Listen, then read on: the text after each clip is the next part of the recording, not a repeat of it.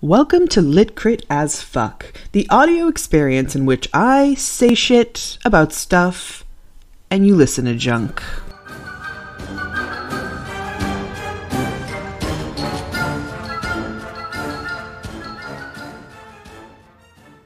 Previously on Lit Crit as Fuck. We were sloppily introduced to a bunch of characters through my brain. And Malkovich doors. Do you want me to stop saying that? We learned that Fyodor Pavlovich Karamazov, the father of all of the brothers Karamazov, is a terrible human being. He's just, he sucks. We learned that he has four children, three of them in marriages, one of them not. His eldest son, Dmitry Karamazov, who is looking for some money. The middle kid, Ivan Karamazov, who really at this point it's unclear what he wants. And the baby, Alyosha Karamazov, who is an extremely holy dude and trying to become a monk. And of course, there is the bastard son who's about the same age as Ivan, Smerdyakov, who's a psychopath. These kids don't really know each other, and they're just coming back to town now. Because reasons! We learned that there is a monastery, and that's where we're gonna be. This entire episode takes place at the monastery. Title card. The Brothers Karamazov by Fyodor Dostoevsky, Part 2. This is why we can't have nice things. Dmitri is trying to get money from Fyodor Pavlovich because Fyodor Pavlovich got his money from Dmitri's mother. And also because Dmitri spent all of his money because he's really bad with money. and he owes people money and is in debt and wants money, money, money, money.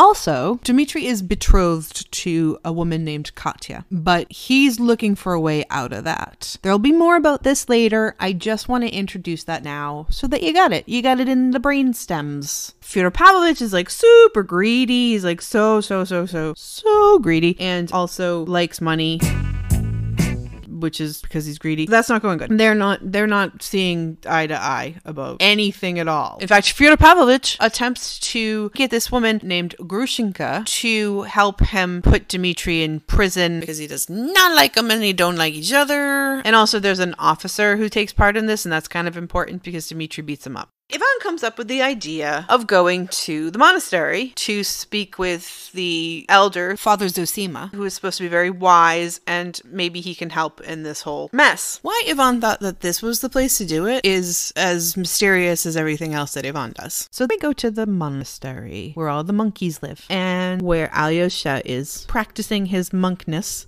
Kind of the first time we meet the people and we see them interact with each other for the very first time. So fun scene. I mean, what could go wrong? It's Fyodor Pavlovich and Ivan and Pyotr Alexandrovich Musov, the cousin of Dmitri's mother, who, if you remember, is the one who got partial custody of Dmitri when he was a baby and ended up taking him away from Fyodor Pavlovich. He will be referred to as simply Musov. Musov is really pretentious. Fyodor Dostoevsky likes to write the older liberals of the time as these dandies who are very self important and mostly harmless. But kind of annoying. And Musov's young cousin Kalganov is also there for some reason. They're supposed to be meeting Dmitri there, and Alyosha's already there because he lives there. So when they get to the monastery, they don't really know how, where anything is, and nobody comes and greets them, and they're kind of like all like, "What the hell? We are important nobles of the nobility, and why isn't anyone greeting us to show us the way to where we're supposed to go? Don't they know who we are? We want to talk to their manager." And then out pops, literally out of nowhere, this guy just he comes from nothing. He just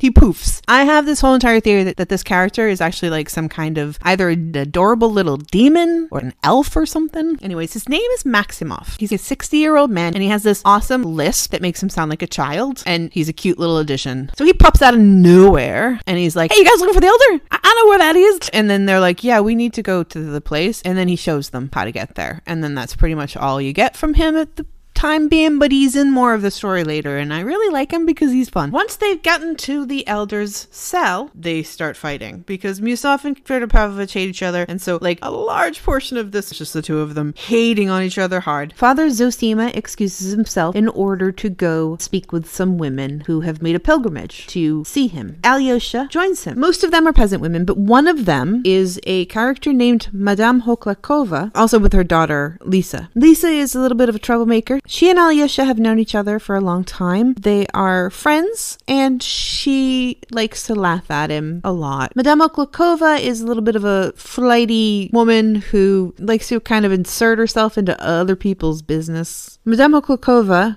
hands Alyosha a letter. And the letter is from Katerina Ivanovna, Katya, Dimitri's betrothed. And the letter is asking Alyosha to come and see her. Then they go back to the meeting, and then you get an article that Ivan wrote about the ecclesiastical courts. Because come on, that's what you're that's what you're here for. This isn't Michael Bay. This is Dostoevsky. MFs. So yeah, you go to Zosima's and you get some intellectual debate about philosophy and religion. It's a fucking thrill ride. What? No, I am not paranoid about whether people like the books that I like. Shit, I don't. You just shut up. Shut your mouth. You shut your mouth. In said article, Ivan makes the argument that there should be no separation of church and state because what? But Ivan's smart and also doesn't really believe in God and stuff, right? Well, sort of. To paraphrase the iconic Sir Martin Lawrence. Shit. Is about to get In the article, Ivan is claiming that the church would be better at dissuading criminals from breaking laws because criminals wouldn't be able to be like, "Hey, yeah, sure, I'm I stole a thing, but I still love Jesus." Because if you steal a thing and the church is the state, then by breaking any laws, you have broken a law of Jesus or something, and so then you get excommunicated as well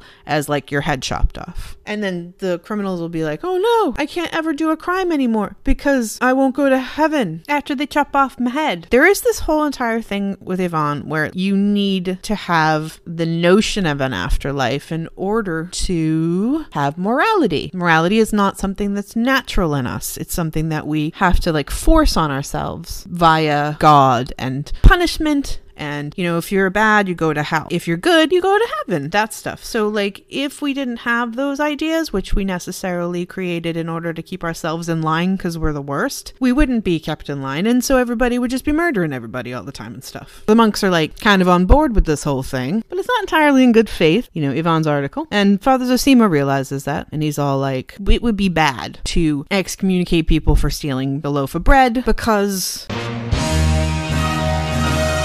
it's like, what? That's not Christian. That's mean. And you're going to go to hell because you did a crime and don't you get to repent or what? What's going on here? This is, he thinks that the criminals need to be loved. So, anyways, they're in the middle of this discussion. Musov is, he's just clutching his pearls about it all. And Musov is kind of a, you know, liberal. He likes France, actually going on a little bit of a rant. And suddenly he doesn't get to finish that rant because the door opens and, oh my God, Dimitri finally showed up. Did I mention Dimitri wasn't there? So this whole time, they've actually been waiting for Dimitri to show up, but they've kind of forgotten about him. And right when you do really kind of forget about Dimitri, he busts in the door. He seems to bust in doors a lot. The Kool-Aid man of the brothers Karamazov. Dimitri's really late, and he's kind of the entire reason they're there.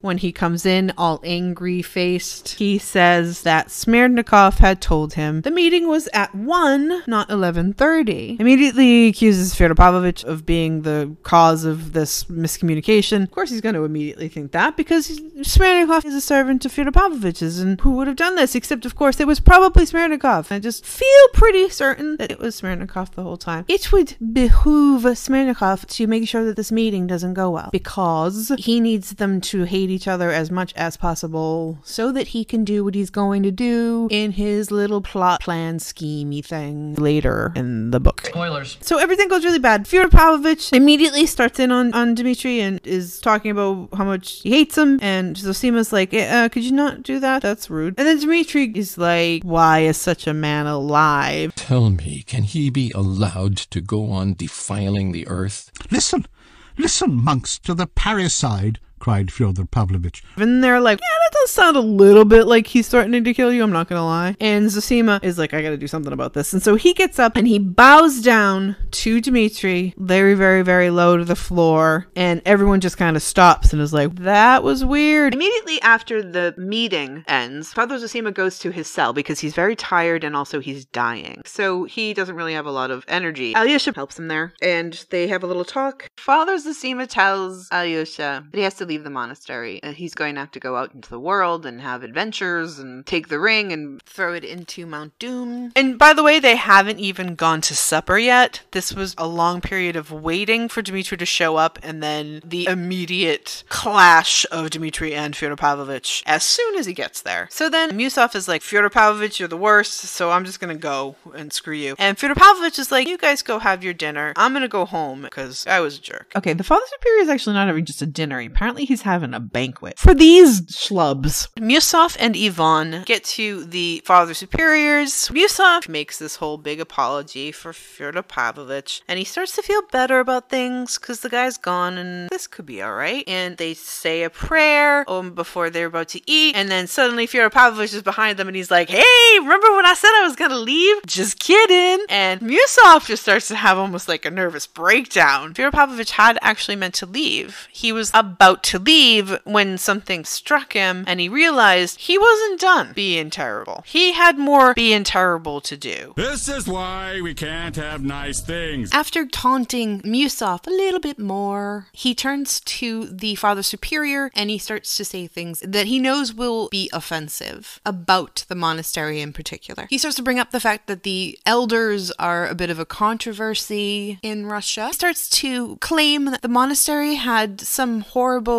effect on him as a child. Apparently, it's a complete lie. It almost makes it sound like he was abused by somebody at the monastery as a child, but um, we're assured by the narrator that he's just making it up. The Father Superior keeps his cool and just keeps on kind of quoting the Bible at him and, you know, being like, hey, it's fine. You, you can abuse me because I'm a good Christian and I'll take it and turn the cheek. And every time he does that, Fyodor Pavlovich kind of mocks him for being religious. Ay, ay, ay. And it just gets more and more outrageous and ridiculous where he's just clearly standing there hollering, insulting stuff at holy men. And there's not even really a good reason why other than that's just kind of who he is. The quirkiness Fyodor Pavlovich. So all the while that the badness is happening, Maximov is actually there. My cute little lispy demon friend. And while Fyodor Pavlovich is going on his weird tirade, he asks Maximov to come home with him. Like he wants to adopt him or something. At some point, finally, some of the monks do start to take offense.